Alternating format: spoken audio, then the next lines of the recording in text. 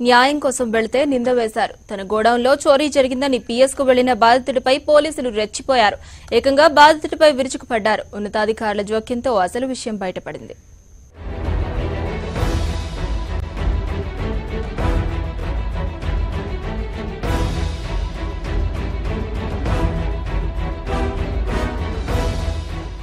నల్గొండ జిల్లా మిర్యాలగూడ ప్రాంతానికి చెందిన ఉప్పల శ్రీను మిషన్ భగీరథ పనులకు కాంట్రాక్ట్ ఒప్పుకున్నాడు. అందులో భాగంగా సుమారు కోటి రూపాయలు విలువ చేసే విద్యుత్ తీగలు మరియు విద్యుత్ సామాగ్రి తన గోడౌన్లో భద్రపరిచాడు. దీనిని గమనించిన గుర్తు తెలియని వ్యక్తులు ఎత్తుకెళ్ళారు. దీనిపై ఫిర్యాదు చేసేందుకు గుత్తేదారుడు శ్రీనివాస్ వాడపల్లి పోలీస్ స్టేషన్కు వెళ్ళాడు చోరీ గురించి పోలీసులకు వివరించాడు. అయితే కేసు నమోదు చేయకుండానే గుత్తేదారుడు శ్రీనివాస్ పై ఎస్ఐ ఫైర్ అయ్యాడు.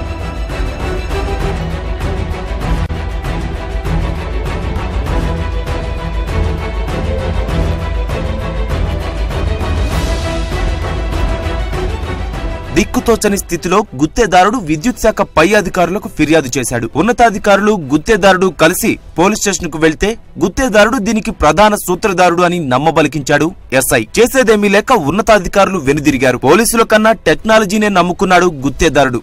తన గోదాంలో సీసీ కెమెరాను ఏర్పాటు చేసుకున్నాడు. అయినా దుండగులు వదల్లేదు. సీసీ కెమెరాలు పగలగొట్టి విలువైన విద్యుత్ వస్తువులను మళ్ళీ గుర్తు తెలియని వ్యక్తులు కాజేశారు.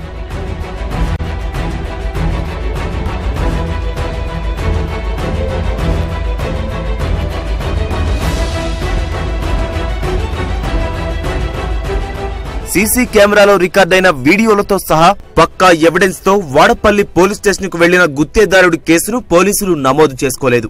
కేసు నమోదు చేసుకోవాలంటే పోలీస్ బాసులకు లంచం ఇవ్వాల్సిందేనని లేదంటే కేసు నమోదు చేసుకోరని గుత్తేదారుడు ఆరోపించాడు.